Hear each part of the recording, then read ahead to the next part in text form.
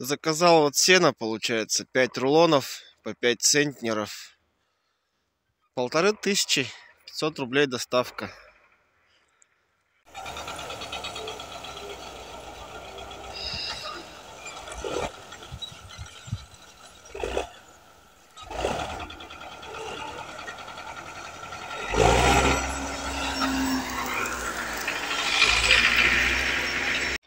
Все, разгрузились, тракторист пытается выехать из заснеженных сугробов из моих. Так, все, сейчас рассчитаемся. И все. Вот такая вот кучка сена у нас получилась. Это вот остатки старого сена, которого еще осенью брали два тюка. И вот еще, получается, заказали 5 тюков. В общем, вышло вместе с доставкой 8 тысяч. Сено является одним Убери из... с носа. Сено является одним из важнейших видов кормов. Из важнейших, а не важнейшим.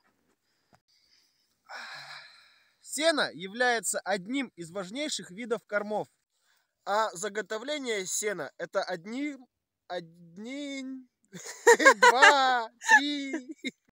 А заготовление сена это один из древних способов консервирования, консервирования кормов путем обезвоживания растительной массы. Вместе с сеном животные получают 50-70% перевариваемого протеина. А также вместе с сеном они получают соли, витамины и минералы. Вот лично для нас это сено нужно для того, чтобы кормить овец а также гусей.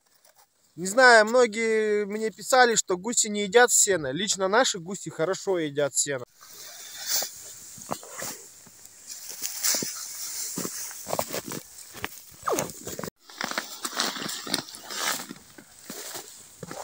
Основным рационом питания моих овец как раз таки является сено. И изредка, в основном, когда вот, ну, морозы, я их подкармливаю овсом. Все остальное время это вода, сено и, конечно же, вот лизунец, который я приобрел недавно.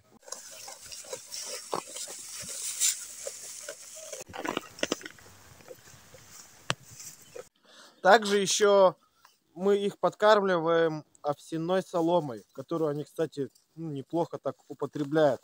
Да, Джек? Это вот мои помощники. Еще иногда мы их подкармливаем яблоками и морковкой. Ну, бывает, конечно, еще и капуста. Но это может быть раз в две недели, примерно вот так вот. Кто если смотрел мои видео ранее, э, вы можете заметить, что это помещение, где раньше у нас был дровяник. Когда мы сюда переехали, здесь было немножко дров, и куча всякого хлама. И вот мы как бы все отсюда убрали. И теперь это помещение у нас предназначено для овец. Как вы можете видеть, оно такое просторное. Для трех овец и одного барана более чем достаточно. Вот, вы видите, мы здесь расстелили солому. Они здесь роются, что-то там себе ищут. Хотя, в принципе, еды им достаточно.